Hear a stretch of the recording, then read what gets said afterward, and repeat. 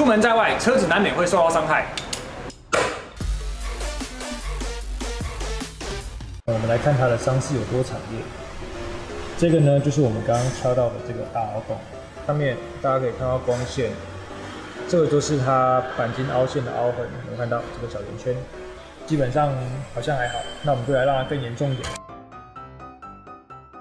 我们就来假装它已经雷残了。那等一下开始喷漆前呢，我们要先把它拆解下来。好，那我们开始。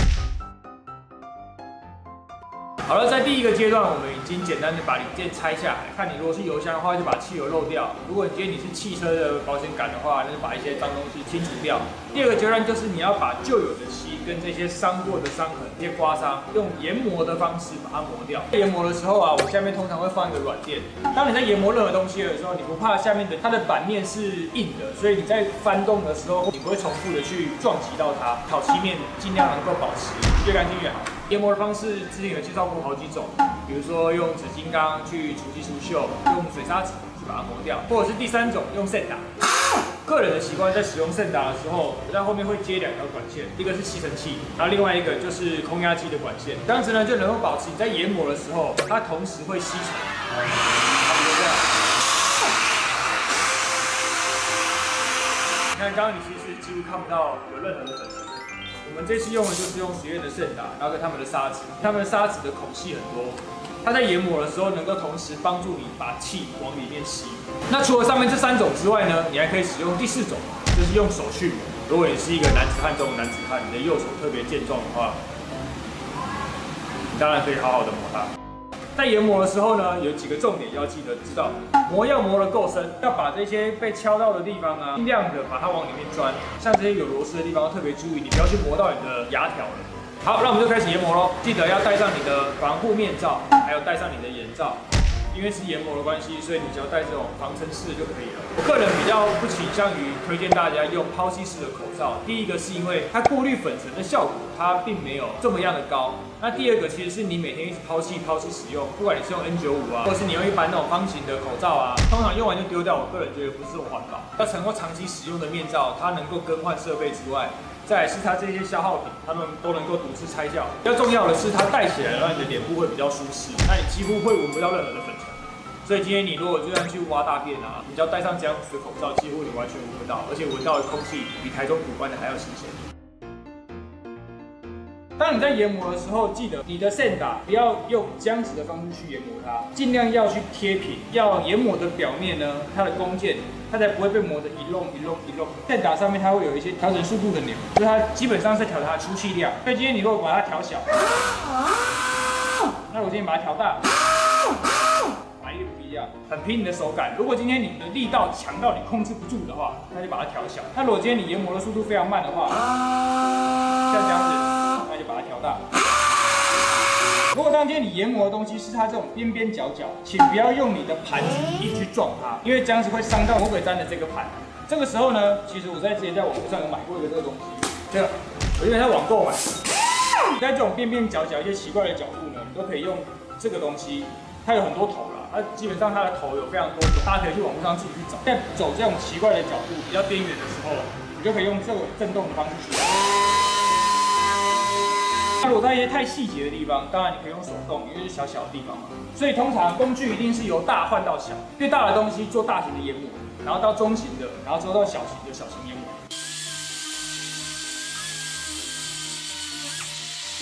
好了，暂停一下，大家可以看在这个地方已经磨到金属的本身了。其实因为这一下就是我在敲敲的太大力了，在这个部分呢，待会我们要特别的处理。在做完研磨一次之后，基本上还会再上一次汽车的底漆。那汽车底漆它到底能够干嘛呢？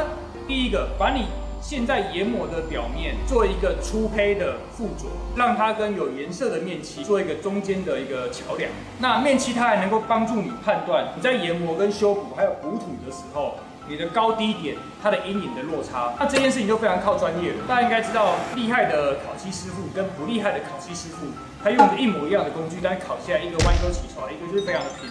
顺跟平滑，这个就是手感跟功力上面的问题。好，剩下一点点，我们就一次把它磨完吧。现在进行到了睡觉、吃宵夜、下班前，要做的一件事，就补土。这种补土呢，我的经验是，不管你再怎么密封，它早晚还是会干。建议大家就是用一些你会用到的量就好，不需要买到太太大桶。在操作补土的时候，还是要戴上防化学的防毒面罩，本身也是一种挥发气体。这东西在使用前记得要搅拌均匀，就是稍微在里面给它拉拉嘞。就是通常补刀有两种，一种是日式补刀，一种就是这种橡皮的，我们就讲波葵啊。它有分橘色跟蓝色的，软硬度不太一样，那就照大家喜欢的手感，其实都可以啊。会补的人，手多少能够能够拿一个塑胶片也会补。我每一个人都会有一个属于自己的小木板啊。我曾经有一块超漂亮，上面各种颜色。就有一次我一个小徒弟，他妈傻傻的以为那是乐色，把它丢掉，害我伤心了好多天。他一桶。大概就配一条，像这个小牙膏一样。所以以目测的比例来说，将是五十比一吗？主剂在夏天的时候，你可以用一百比二，也就是五十比一，猜对。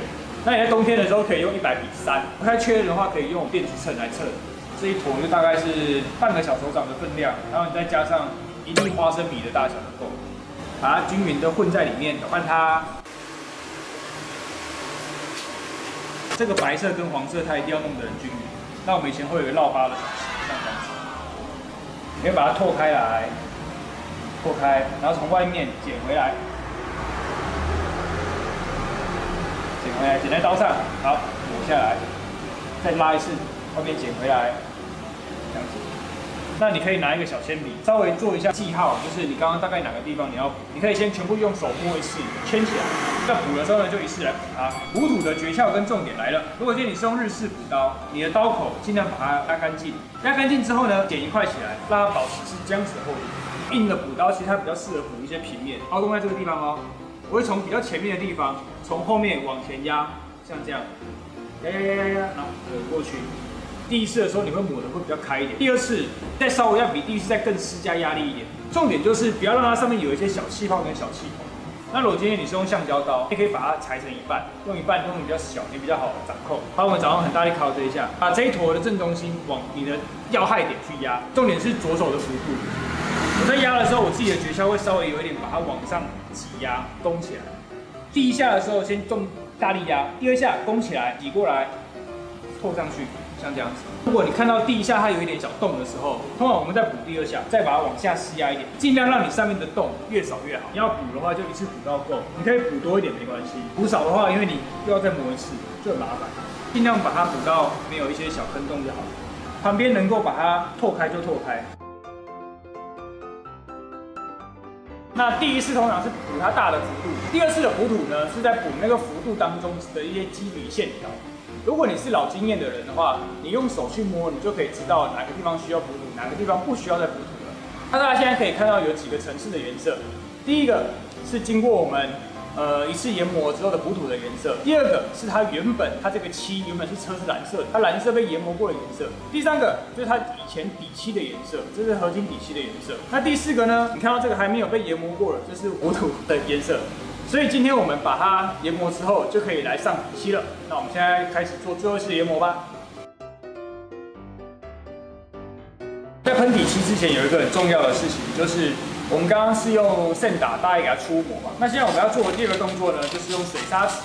你在喷底漆之前呢，就是上面会有一些油脂啊，然后或者是有一些脏污，那这个东西都会影响到你喷漆的品质。要记得你在磨漆面的时候，通常都是要用水砂纸。水砂纸呢，它因为用水当成介质跟界面，所以它在研磨的时候不会把整个漆变成烂烂的改灰看起来这样子。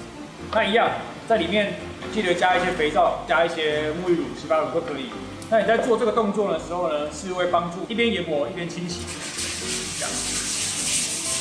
那这个时候呢，你的砂纸的号数就非常重要了。有非常多的杂品牌，它的一百号不是真的一百号，它的两百号不是真的两百号。那基本上我们就用学院的砂纸系数来做一个公规范，因为它的一百二十号磨起来跟一些奇怪牌子的一百二十号磨起来真的差蛮多的，都会。所以基本上我都会宁愿花贵一点的钱去买比较好用的东西，这样大家工作效率也会比较好。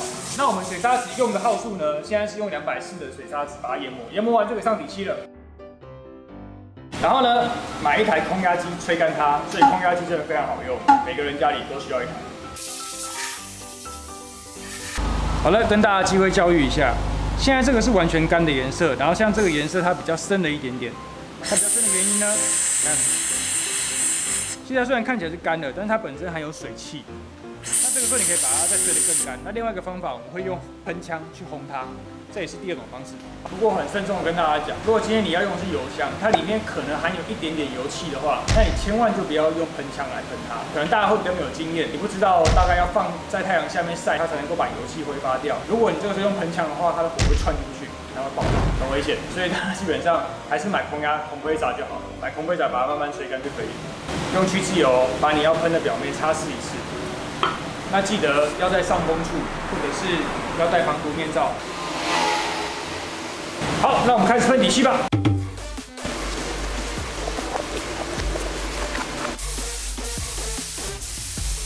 好，当然除了传统的就是修车补土的方式之外呢，其实在现在也有一种新的技术，叫做凹痕修复。